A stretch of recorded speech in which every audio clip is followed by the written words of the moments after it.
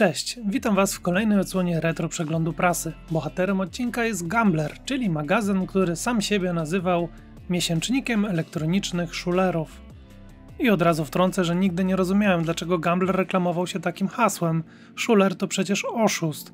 To trochę jak ta sieć marketów, która nazywała swoich klientów sknerami. Nieważne. Wertować będziemy numer drugi z 1995 roku, a początek roku 95 to bardzo ciekawe czasy, bo jest to okres przed premierą Windowsa 95 i przed boomem gier 3D, który umownie zacznie się dopiero po premierze pierwszego Quake'a, czyli za ponad rok. Czym żył wtedy growy, jak i hardware'owy świat? Przekonajmy się.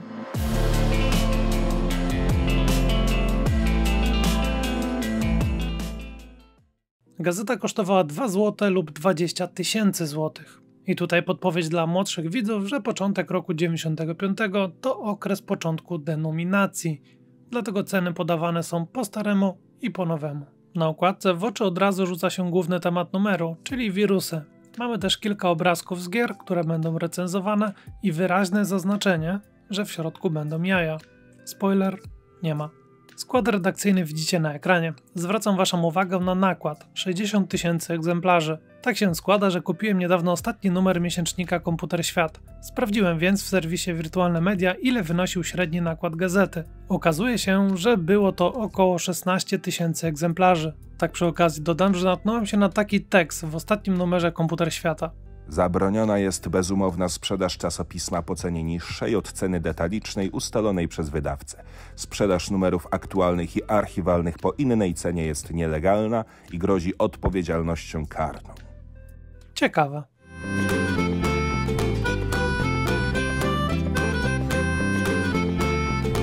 Wracamy do Gamblera. We wstępniaku możemy przeczytać, jak autor zmaga się z depresją, ale to tylko moja złośliwa ocena. Przywołane są tutaj Oświęcim, Hiroshima, Sarajewo oraz Jurek Owsiak. A to wszystko w kontekście tego, zgadliście, że minął rok od wprowadzenia ustawy o ochronie praw autorskich. Naprawdę, ile gier was tak urzekło, że postanowiliście zatrzymać je w swoich zbiorach na dłużej? Kilka czy kilkanaście w roku? Nie stać was na kupienie legalnych wersji? Czy warto biegać na giełdy po gry, które potem nadają się tylko do skasowania?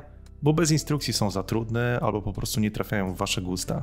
Przecież istnieje w Polsce już sześć czasopism, w tym Gambler, w których możecie poszukać odpowiedzi na pytanie, jakie gry warto kupić. Jednak zanim większość graczy zrozumie, co jest dla nich najważniejsze, upłynie jeszcze sporo czasu. Na razie króluje szara rzeczywistość. Polowanie na nowości w powodzi byle jakości. Mam od dawna wrażenie, że wiele mądrych głów szuka przyczyn piractwa w Polsce lat 90. w różnych dziwnych miejscach, kiedy to miejsce jest dobrze znane i nie trzeba mapy czy GPS, aby tam trafić. Przeciętne wynagrodzenie w roku 95 według danych GUS wynosiło około 700 zł. Średnia cena nowej gry to nierzadko tyle co dzisiaj. W roli uzupełnienia, według GUS w 2021 roku przeciętne wynagrodzenie w naszym kraju wynosiło 5662 zł. Idziemy dalej. Tutaj możecie zrobić pauzę i zorientować się, o czym będzie w dalszej części. Zwróćcie uwagę, że w Gamblerze newsy są pod koniec gazety, a nie na jej początku. Po przewróceniu strony wita nas tekst na temat gry Let's of Lore Tron Chaosu. W spisie treści materiał ten nie widnieje jako recenzja, ale to jest recenzja z jakiegoś powodu opublikowana dwa lata po premierze gry, bo gra wyszła w 1993 roku. Pierwszy Lens of Lore to staroszkolny dungeon crawler stworzony przez zespół, który ma na koncie dwie odsłony Eye of the Beholder, te najlepsze, czyli jedynkę i dwójkę. Gra jest bardzo przystępna nawet dzisiaj i jak widzicie zebrała w Gamblerze niezłe oceny. I to dwa lata po premierze. Następna testowana gra to Aces of the Deep, czyli symulator niemieckiego okrętu podwodnego U-Bota. Gra była bardzo dobrze oceniana, ale to chyba nie wystarczyło, aby odnieść sukces finansowy, bo była to ostatnia gra w serii Aces, jaką stworzyło studio Dynamics. Jak już wspomniałem, grafika jest naprawdę dobra. Widok morza robi duże wrażenie. Genialne, zachmurzone i zamglone niebo. Zapadanie zmroku nie ma równego sobie. To trzeba zobaczyć. Pisał recenzent. No to zobaczmy.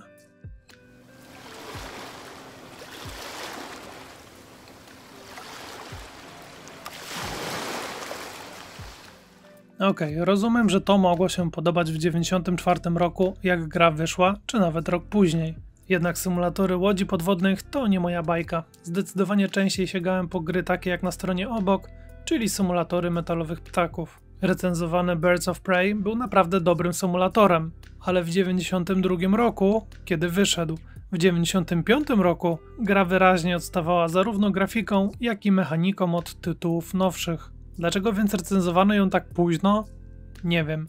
Możliwe, że dopiero wtedy gra trafiła do polskiej dystrybucji, bo warto pamiętać, że jeszcze niedawno polskie państwo nie przykładało wielkiej wagi do kwestii praw autorskich i tym samym wielu wydawców po prostu omijało nasz kraj. Birds of Prey ukazał się także na Amidze i dobrze pamiętam, że gra działała na 500 ślimaczo wolno, co wcale nie obniżało poziomu trudności, a wręcz go podbijało. Kartkę dalej widzimy wpis o grze Operation Crusader. Jest to klasyczna heksagonalna strategia turowa osadzona w realiach II wojny światowej. Przy okazji widzicie, co robiono w tamtych czasach, jak nie udawało się wyciągnąć ładnej grafiki z gry. Otóż sięgano po płytkę z klipartami. Wcześniej mieliśmy już ładny samolocik i łódź podwodną. Idziemy dalej. Po przekartkowaniu wita nas Harpoon 2. Gra strategiczna, która wygląda przynajmniej tak fascynująco jak wielka tabelka w Excelu. Pomimo mojego sceptycyzmu do tytułu, to muszę zaznaczyć, że gry z serii Harpoon są uznawane za najlepsze symulatory morskich potyczek, jakie kiedykolwiek stworzono. Gier w serii wyszło jeszcze kilka, plus cała masa reedycji. A w tę ostatnią, wydaną w 2010 roku, można grać na nowszych systemach.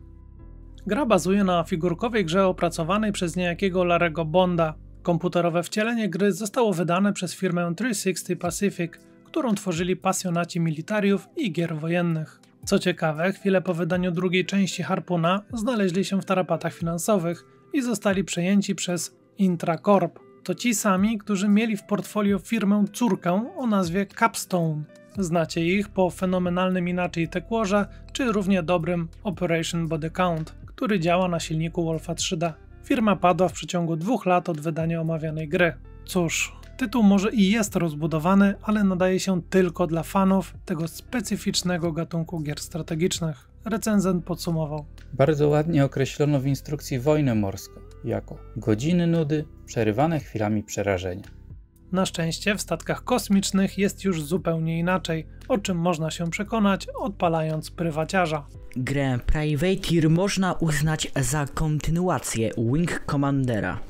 Czytamy w Gamblerze, a ja dopowiem, że niekoniecznie jest to kontynuacja, a po prostu spin-off w uniwersum Wing Commander, a takich gier pobocznych było kilka. Kolejny jednak raz gazeta uraczyła nas hitem, który nie był pierwszej świeżości, bo mówimy o tytule, który ukazał się w 1993 roku. Tym razem w tekście znajdujemy uzasadnienie, dlaczego magazyn odgrzał tego kotleta. Okazuje się, że była to gra, która od miesięcy znajdowała się na pierwszym miejscu wśród najlepiej sprzedających się gier w tzw. Tak Gambler Klubie.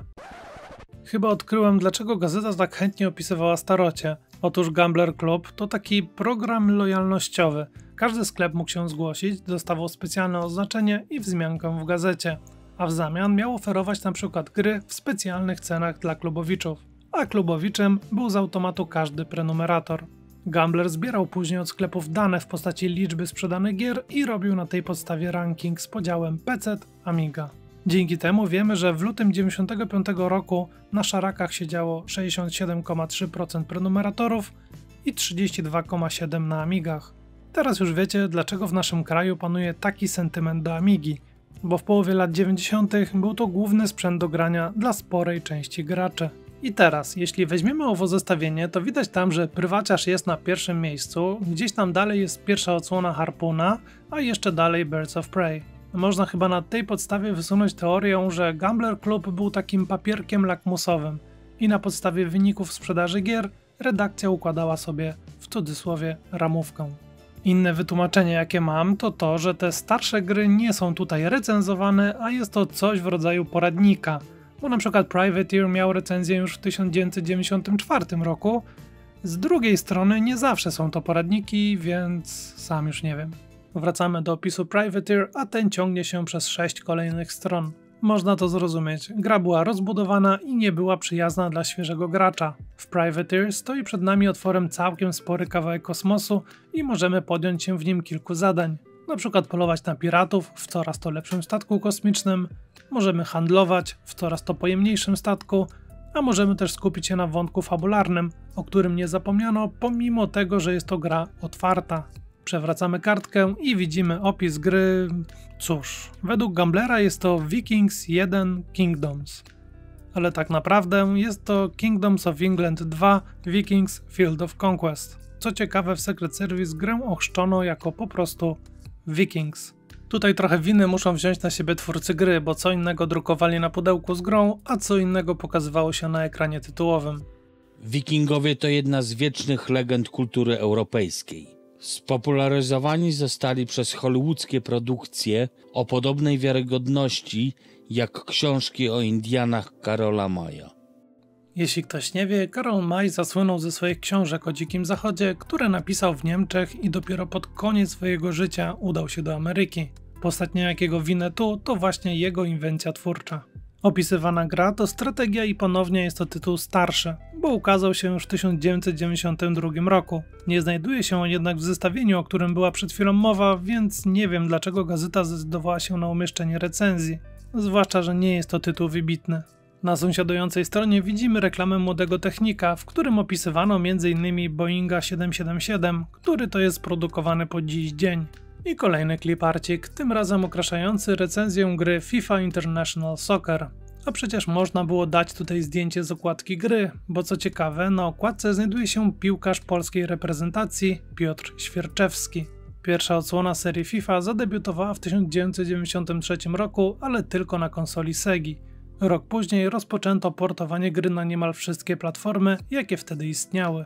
Gra była ciepło przyjęta i dobrze oceniana przez prasę, czego przykład widzimy w Gamblerze. Recenzent dodaje, że gra działała u niego dobrze nawet na 386 SX 33 MHz, czyli poniżej minimalnych wymagań, a te mówią o 386 DX 40 MHz. Ciekawostka, oto co się wyświetla na ekranie startowym, jak przez dłuższą chwilę nie dotkniecie klawiatury.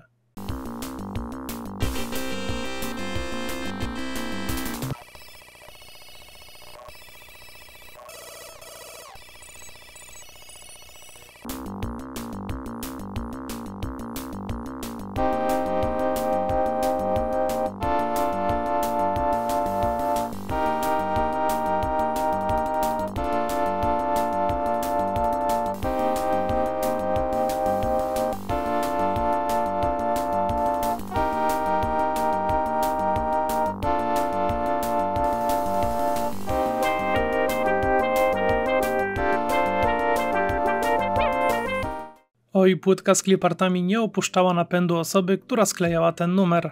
Nie wiem też, co mają wspólnego wojownicy sumo z elfami, ale przemilczmy to.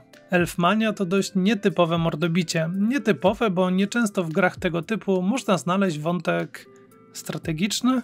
To znaczy w grze głównie walczymy, ale aby wygrywać z lepszymi przeciwnikami, musimy kupić lepszych wojowników, a kupuje się ich za pieniądze zebrane podczas walki ze słabszymi. Do napisania tego artykułu skłonili mnie koledzy, którzy nieświadomi możliwości oferowanych przez grę Elfmania przekonani byli, że jest to klasyczne pranie po pyskach. Ja także po pierwszym kontakcie z grą nawet nie podejrzewałem, z jakim programem mam właściwie do czynienia. Jednak próbując zgłębić zasady gry, stwierdziłem, że albo jestem zbyt głupi, albo program jest znacznie ciekawszy niż myślałem. Gra ukazała się w 1994 roku na Amigę i zbierała skrajne oceny. Amiga Magazine dał ocenę 10 na 10, a szwedzki Dator Magazine dał grze ocenę 1 na 5. No, no, no, no, no, no, no, no, no, no, no, no, no, no, no, no, no, no, Nie, nie, nie, nie, drogi YouTubie. To nie jest golizna. Na tym obrazku wyraźnie widać ciuchcie i konduktora. Tutaj wielkie światła, tutaj koła stykające się z torami, a za kotłem konduktor z łapkami. Uff. Zobaczymy, czy YouTube przyjął to wytłumaczenie. Jeśli na klip zostaną nałożone restrykcje wiekowe, to dam wam znać w pierwszym komentarzu. Wracając do meritum. To chyba o tych jajach była mowa na okładce. Niestety teksty na tej stronie są tak czerstwe, że pozwolę sobie przeskoczyć dalej. Nie wierzycie? To macie. Rozmawiają dwie panie. Jak mój mąż wraca do domu pijany, to witam go wałkiem do ciasta. A ja mojemu staram się wyperswadować pijaństwo proszkiem Orion Super. Dlaczego akurat proszkiem Orion Super? Ma tak niewielkie opakowanie, a można prać, prać, prać.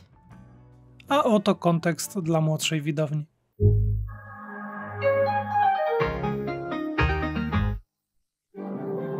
Tu potrzeba dużo siły i zawsze jest tyle brudu. Do takiej ilości brudnej bielizny potrzeba wielu środków pierących. Nie, teraz wystarczy Orion Super, który pierze tak silnie, by każda rzecz była super czysta. Mając tak małe opakowanie Orion Super, możesz prać, prać i prać. Mm. Następne strony to Tete, czyli takie forum, serwis społecznościowy tamtych lat.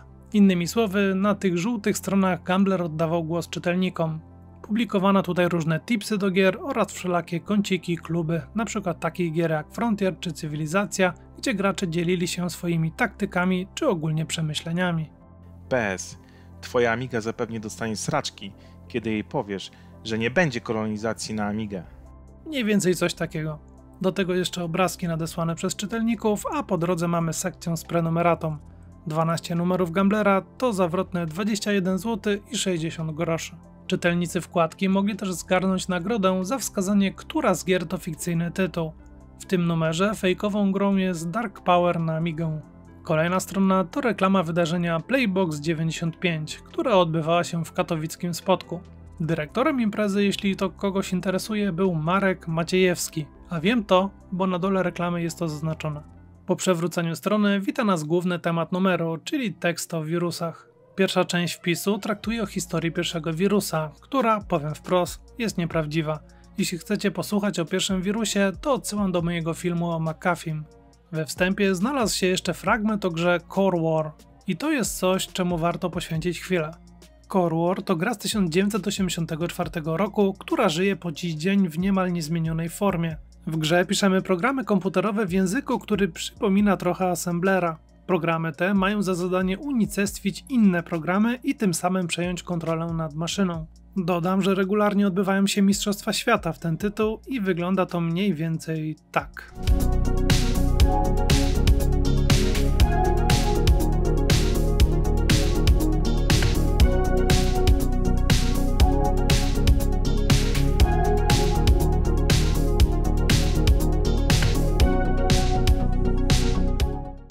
Umieszczam link do tutoriala po polsku w opisie.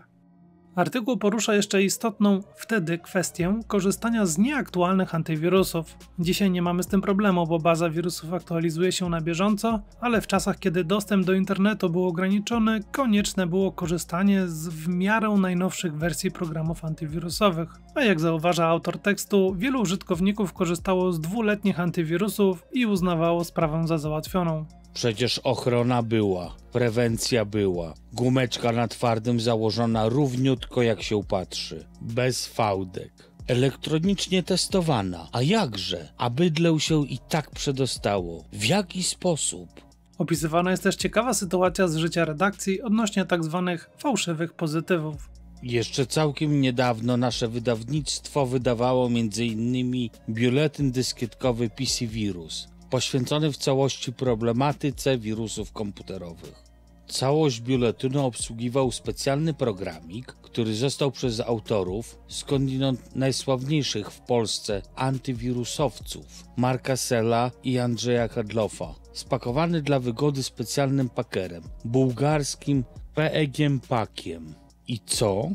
Okazało się, że ten właśnie PGM-PAK jest rozpoznawany przez część dość popularnych programów antywirusowych, np. Norton Antivirus 2.0, jako wirus. Zaczęły się telefony. Jak to? Tutaj sel, antywirusy, a na dyskietce wirus? I udowodnij teraz, że nie jesteś wielbłądem.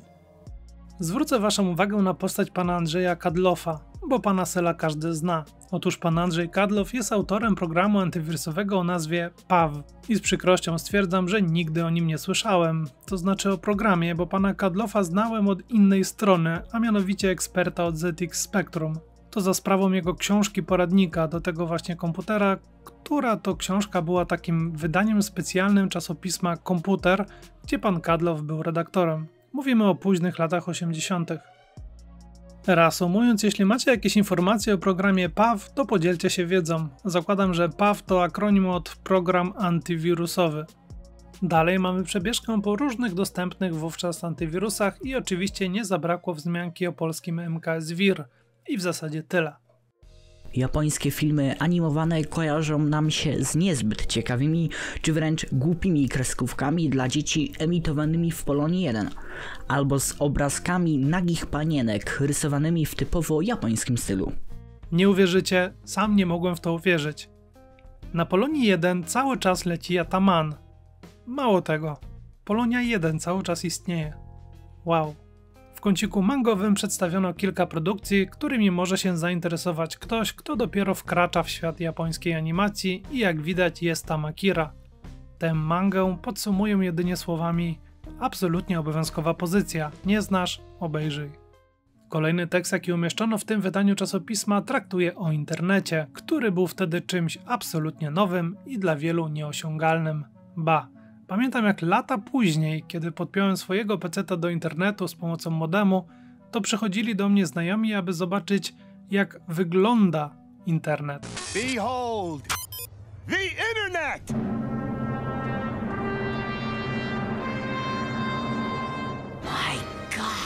Co zrobić, gdy w jakikolwiek sposób dostaniemy się do internetu? Poruszanie się po sieci nie jest, wbrew pozorom, łatwe dla początkującego użytkownika. Internet jest siecią nieprawdopodobnie rozległą, zbliżającą poprzez satelitarne łącza najdalsze zakątki świata. Więc rozeznanie się w gmatwaninie połączeń, punktów, serwerów i innych cudowności może sprawiać niemałe kłopoty. W dodatku internet znaczy Unix.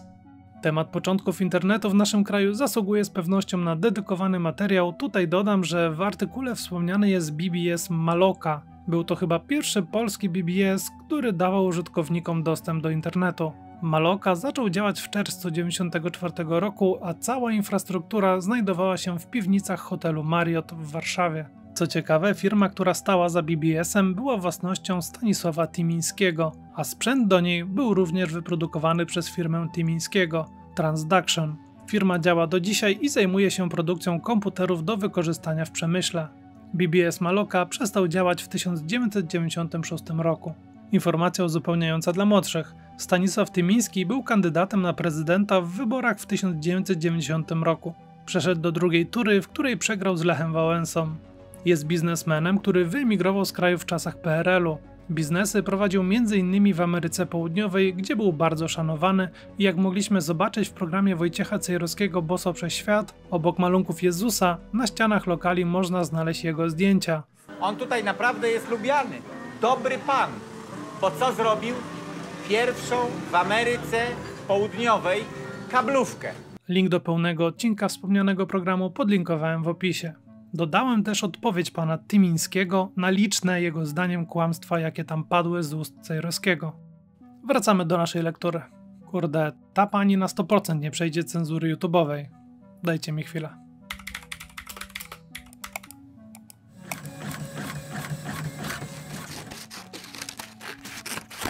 Okej, okay, teraz lepiej. Wrócimy do tej strony za chwilę. Wcześniej list do redakcji. Dzień dobry. Chciałbym, aby gazeta Gambler omówiła grę, która nazywa się Armageddon Man na C64 i chciałbym również, żeby w waszej gazecie ukazywały się opisy gier na C64 ze stacją dysków. Napisał Rafał ze Zgierza, a redaktor odpisał. Niestety, twojego życzenia nie jesteśmy w stanie spełnić, gdyż założenia programowe naszej gazety nie obejmują opisywania gier na komputery 8-bitowe typu C64, małe Atari, Spectusie i inny złom tego typu. Wyobraźcie sobie, co by się stało, gdyby ktoś tak powiedział dzisiaj na jakiejś retro imprezie. Siedzi atarowiec przy swoim cudownym kalkulatorze i mówi do siebie Myślę, więc jestem. I zniknął.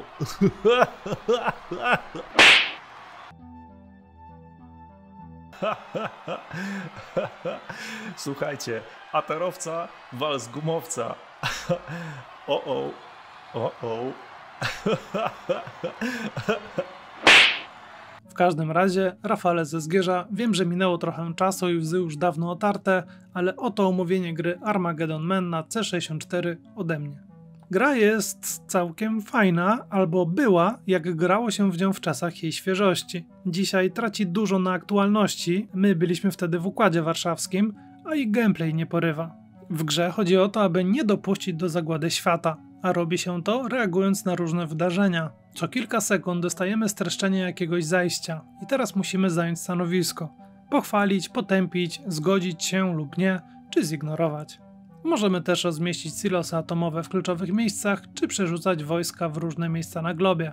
I wtedy to nasze akcje zostaną pochwalone lub potępione przez innych. I tak w kółko do momentu, aż tak bardzo zejdziemy komuś za skórę, że polecą atomówki. Tytuł zbierał mieszane noty, niektórzy recenzenci dawali wysokie oceny, a inni grę karcili. Dla przykładu, w 95. numerze Computer Gaming World z 1992 roku czytamy Symulacja globalnej konfrontacji niewiele przypomina rzeczywistość i ma ograniczone walory rozrywkowe. Gra wyszła w 1987 roku i w Stanach znana jest pod nazwą Global Commander. Apokalipsy mogli zapobiec również posiadacze Amic czy ZX Spectrumów, a deweloperem była firma Martech i niestety nie mają na koncie innych znanych gier. No, z jednym wyjątkiem. Samantha Fox Strip Poker, m.in. na C64 i ZX Spectrum.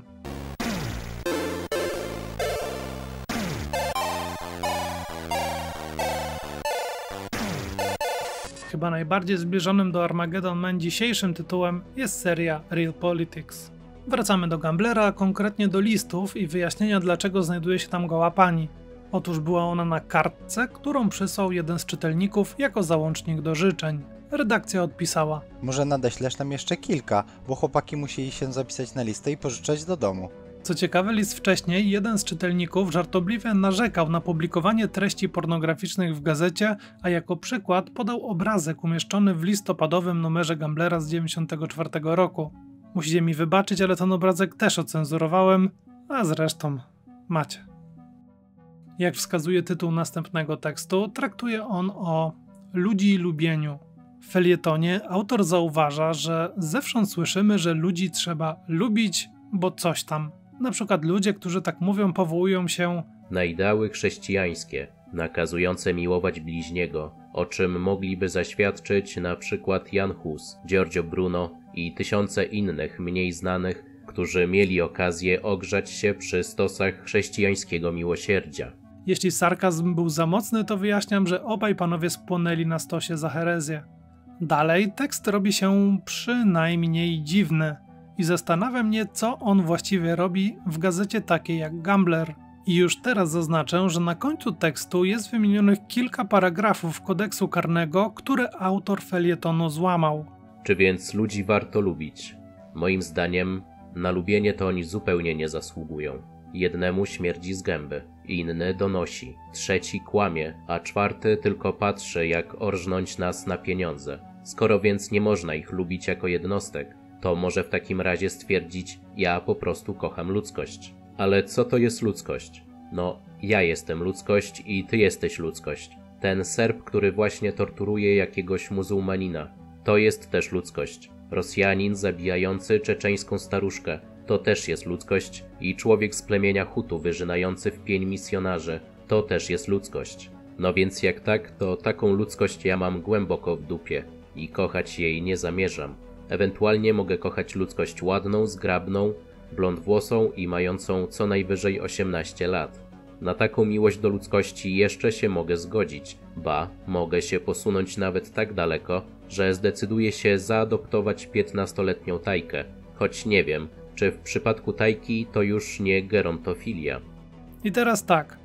Pan mówi o dziewczynach max 18 lat, potem o 15-letniej tajce adoptowanej, co ważne, i dodaje coś o gerontofilii, czyli za Wikipedią Gerontofilia rodzaj zaburzenia preferencji seksualnych, w którym osiąganie satysfakcji seksualnej możliwe jest tylko poprzez kontakty z osobami w znacznie zaawansowanym wieku. Zostawiam Was z myślami i idę na następną stronę. Idąc dalej, możemy zapoznać się z reklamówką dwóch książek o Amidze wydawnictwa Lupus, czyli wydawcy Gamblera, oraz z kolejnym felietonem, tym razem o tym, że autor miał urodzinę. Przy tej okazji ponarzekam sobie na DTP Gamblera. Nie wiem, kto wpadł na pomysł, aby robić takie kolumny, albo takie obracanie tekstu, albo takie. I do dzisiaj nie rozumiem, dlaczego tak często umieszczali żółte napisy na pomarańczowych tłach.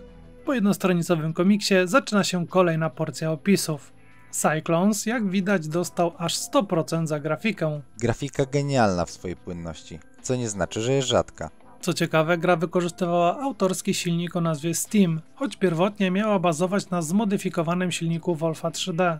dokładnie tym jaki został zastosowany w Shadowcaster. Choć czas nie oprzeć się z tym tytułem łaskawie, to jeśli grafika wam nie przeszkadza, Cyclones zabawi was na kilka godzin. Warcraft także otrzymał wysokie noty i zaznaczono, że jest to udany klon Dune 2. I tak samo dobre noty zebrał latający dywan od Bullfroga. Po przekartkowaniu kolejna wysoko oceniana gra, Menzo Beranzan. I słusznie, bo jest to świetny RPG, w dodatku w uniwersum AD&D, w znanej wszystkim fanom chociażby Baldur's Gate'a scenerii, czyli w zapomnianych krainach. Tytuł gry to nazwa miejscowości, w której mieszkają tak zwane droły. Szacunkowo 1 trzecia mieszkańców to właśnie oni, a 2 trzecie to ich niewolnicy. Droły to mroczne elfy, czyli wynik spółkowania trola z elfem. Prawie wszystkie są nieprzyjemne, nieprzyjazne i ogólnie złe. Prawie wszystkie, bo są osobniki o naturze dobrej. Menzoberanzan to dobra gra, ale przyznam, że nie najładniej się zestarzała. Gdyby był to segmentowy RPG w stylu EOBA, to pewnie nie byłoby problemu. Ale jako już tutaj mamy silnik raycastingowy, a la Wolf 3D, to cóż, efekt widzicie na ekranie. Dominus nie spodobał się redaktorowi, a powód może być trochę niesprawiedliwy, przynajmniej z dzisiejszej perspektywy. Rozmiary programu budzą respekt, ponad 31 MB na twardym. Ciekawe, co też interesującego oferuje tak rozbudowana gra. Otóż nic. Niemal całe te 31 MB zajęte jest przez animacje i inne graficzne fajerwerki. Nie zgodzę się, była to ciekawa pozycja, w której gracz cały czas był atakowany ze wszystkich stron przez wrogów. I w zależności od tego, czy uda nam się odeprzeć atak, to wróg będzie albo silniejszy, albo słabszy. Nowością jak na grę strategiczną była możliwość przesłuchiwania pojmanych jeńców. Drugą odsłonę Canon Fodder pozwolę sobie ominąć, bo grę znają wszyscy i chyba wszyscy ją lubią. Jak widać noty wystawione przez redakcję są wysokie. O Armed Fist, który z jakiegoś powodu został przechrzczony w gazecie na Panzerfaust, mogę powiedzieć jedynie, że jest to wyjątkowo paskudna gra. I była paskudna nawet w swoich czasach. Recenzent tak ją podsumował.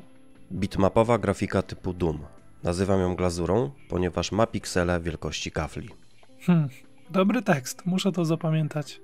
Down Patrol z sąsiedniej strony to zupełnie inna historia. W tym symulatorze grafika była już bardzo dobra, samoloty i niektóre obiekty na mapie były już 3D i były oteksturowane. Samoloty jak żywe, ale największe wrażenie robi stodoła. Cała drewniana. To widać. Szkoda tylko, że tryb SVGA jest zarezerwowany dla posiadaczy komputerów z 8 MB RAM. Recenzent drugiego Mortala porusza m.in. kwestię plotki, jakoby w grze było zaszyte tak zwane nudality, czyli rozbieranie do dwóch uczestniczących w turnieju panienek. Nie było takiej opcji, ale jeśli chcecie zobrazować sobie jak nudality mogłoby wyglądać w grze tego typu, to tak się składa, że była gra Tattoo Assassins, w której taka opcja się znalazła. Dodam, że gra była słaba i tak naprawdę to nawet nie doczekała się premiery. Wyszło tylko kilka testowych automatów z tytułem. Swoją drogą plotek na temat Mortala i rzeczy jakie twórcy ukryli w grze było naprawdę wiele. Moja ulubiona plotka została nakręcona przez czasopismo Computer and Video Games. Puścili oni famę, że w grze jest ukryta postać imieniem Pedro. Był to meksykański wojownik, którego sekretnym ciosem było puszczenie bąka.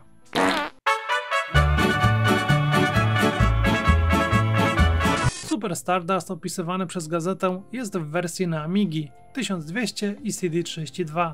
Na blaszaki gra zawita dopiero w 1996 roku, a w odświeżonej wersji gra zawita także m.in. na PS3. Tytuł jest odpicowanym graficznie klonem gry Asteroids. I lśniąca grafika to nie jedyny jej atut, bo Super Stardust bronił się przede wszystkim grywalnością.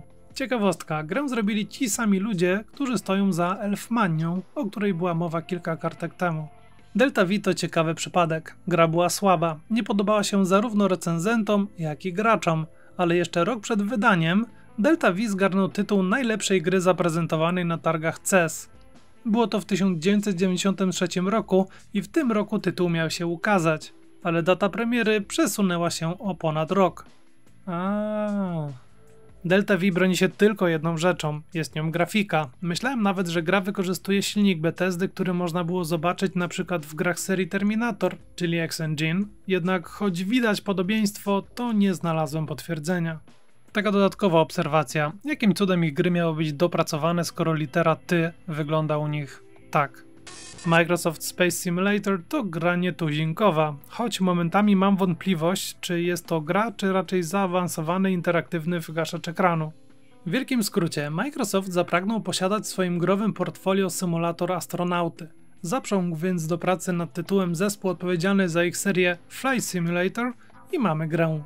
W Microsoft Space Simulator nie uświadczysz wartkiej akcji, obcych czy chociażby muzyki. Za to znajdziesz tutaj coś, czego nie ma w innych tytułach. Realistyczny symulator badacza kosmosu. Gra może się pochwalić niezłym silnikiem graficznym z miksem w postaci cieniowania ditteringiem oraz oteksturowanymi obiektami, a do tego fizyka w grze była na bardzo wysokim poziomie. Jeśli chcecie wystawić swoją cierpliwość na próbę, bo rozgrywka jest tutaj ekstremalnie powolna, to polecam. A jeśli chcecie coś nowszego, to sprawdźcie darmową grę Orbiter. Link w opisie. Lista przebojów skupia się w tym wydaniu na podsumowaniu całego 94 roku. Mamy podział na PC, Amigę i Atari ST. Dziwi mnie jedynie brak Sensible Soccer na liście amigowej. Warto też zaznaczyć, że Cywilizacja i Canon Fodder znajdują się na wszystkich trzech listach. Pod listą krótkie wzmianki o dwóch grach na Amigę wydanych przez LK Avalon, a stworzonych przez kultowego dewelopera The Penning Games, który co ciekawe już się wtedy, czyli w 1995 roku, tak nie nazywał. Zostali wchłonięci przez firmę Merit Studios, a dwa lata później zmienili nazwę na Eutechnics. Niestety to właśnie ten kultowy deweloper odpowiada za jedną z najgorszych gier, jakie kiedykolwiek wydano, a mianowicie Right to Hell Retribution. Stroną obok zaczynają się newsy, zarówno ze świata gier, jak i sprzętu. Mamy tutaj coś o słynnym błędzie w Pentiumach, o czym się nie rozwodzę, bo przyjdzie na to czas. Jest też coś o tym, że Bill Gates kupił rękopisy Leonarda da Vinci i sugestia, że może Microsoft szuka w nich porad, jak dokończyć Windowsa 95, znanego wtedy pod nazwą Chicago. Wyróżnię jeszcze tego newsa. Amiga porzucona. Jedna z najbardziej utalentowanych grup, Sensible Software, Canon Fodder, Sensible Soccer, zapowiada odejście od Amigi, argumentując to piractwem na amigowskim rynku oraz większymi możliwościami bardziej zaawansowanych technicznie maszynek do gier. Podobno ostateczna decyzja zależy od zysków, jakie przyniesie najnowsza kreacja grupy Sensible Golf. Cóż, jeśli firma liczyła na to, że na golfowej grze zarobi sensowne pieniądze, to się przeliczyli.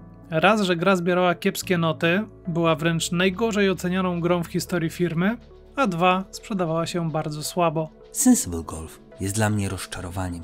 Nie jestem z gry zadowolony. Byliśmy chciwi. Rozmyliśmy naszą jakość. Szczerze mówiąc, skupiałem się wtedy na sex and drugs and rock and roll. To była wielka zabawa. Pomiędzy tym a Sensible World of Soccer nie miałem czasu na Sensible Golf i gra po prostu się prześlizgnęła. Powiedział lata po wydaniu gry John Hare, jeden z założycieli Sensible Software. Po wydaniu Sensible Golf firma wydała już tylko jedną grę na Amigę Sensible Train Spotting. Przynajmniej tak podają różne źródła, ale czasowo coś się tutaj nie spina, bo firma wydała przecież Sensible World of Soccer 96-97 rok później, w tym wersję na Amigę. Nieistotne. Mamy więc grę Train Spotting, w której smutny pan wypatrywał nadjeżdżające pociągi. Poważnie, tak wygląda gameplay.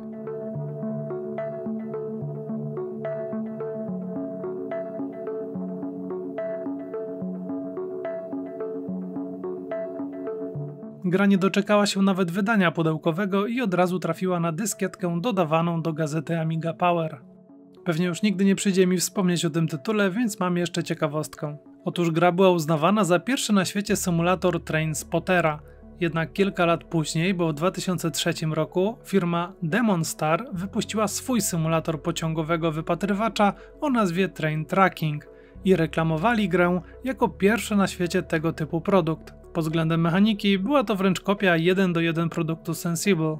W każdym razie niejaki Stuart Campbell, były pracownik Sensible, kupił grę i udostępnił ją za darmo na swojej stronie i zachęcał wręcz producenta, aby go pozwali.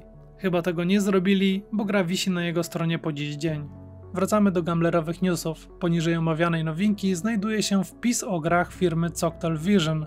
Już kiedyś o nich wspominałem, dokładnie w tym materiale i w tym rozdziale. Zachęcam do zerknięcia, jeśli nie widzieliście. Obok newsów podłużna reklama LK Valon, a tam m.in. polska świeżynka o nazwie Sołtys. Miejsce akcji to Poraż, czyli polska wioska, z której Polacy lubili sobie żartować. Podkreślam, lubili, bo chyba dzisiaj niewielu już pamięta kawału o porażu, a koronę dzierży obecnie Wąchock. Nie będę wam podawał przykładowego kawału, zrobię coś zupełnie innego. Zacytuję wam fragment artykułu z tygodnika Polskiej Zjednoczonej Partii Robotniczej Podkarpacie z 1982 roku, w którym pani dziennikarz próbowała dojść do tego, dlaczego Polacy naśmiewają się z tej miejscowości.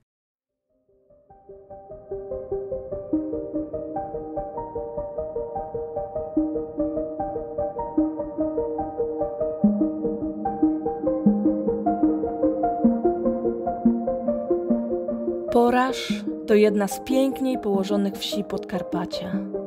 W wąwozie, nad rzeczką o tej samej nazwie, obrzeczona z dwóch stron malowniczymi wzgórzami.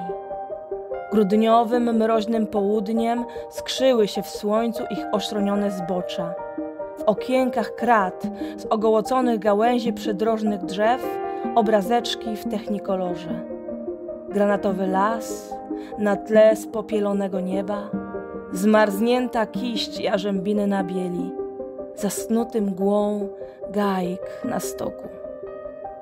Wzdłuż asfaltowej szosy, słynącej z zakrętów całej okolicy, porządne domy o zadbanych obejściach, czysto, schludnie.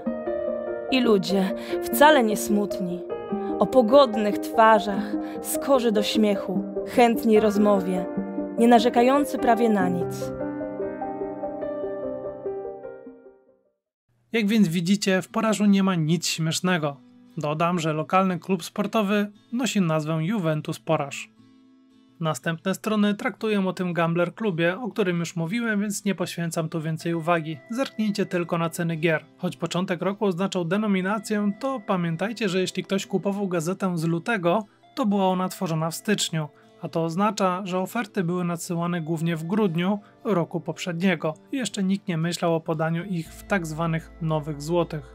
Najdroższa gra pecetowa kosztowała nie klubowicza jakieś 158 zł. Mowa o Labyrinth of Time, który został wydany na CD-ku, ale chyba większość płyty zajmowała muzyka, bo jest to statyczna przygodówka i co warte podkreślenia, jest to gra z 1993 roku, czyli nie była to nowość. Za 158 zł.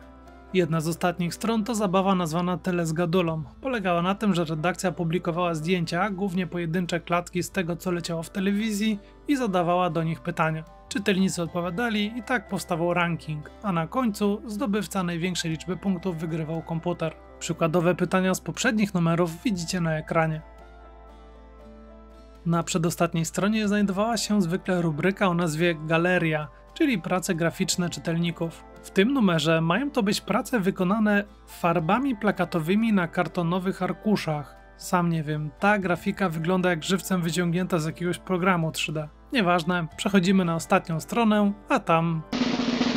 A tam to, czyli nic. Randomowe obrazki z różnych gier. Z jakiegoś powodu od czasu do czasu gazeta praktykowała takie marnotrawstwo. Prawdopodobnie, i to tylko moja teoria, jest to placeholder na reklamę, a że tej nie było, to poszły obrazki z gier. Sprawdźmy, czy rozpoznamy wszystkie. Ten obrazek podpisał się sam. To od razu dodajmy ten, bo to ta sama gra. Te trzy obrazki są z prywaciarza, ten z Down Patrol, tutaj Aces of the Deep, te oczy poznam wszędzie i właścicielką jest pani z gry Lens of Lore, a obok również screen z tej gry. I tyle. Odkładamy na półkę kolejną gazetę. Zachęcam do sprawdzenia innych odsłon w tej serii. Zwykle pojawiają się jeden odcinek na rok. Na koniec ślę podziękowania dla wszystkich, którzy użyczyli mi swojego głosu. Zachęcam też do dołączenia do tego grona. Maila widzicie na ekranie. Dzięki za uwagę. Do usłyszenia w następnym materiale. Cześć.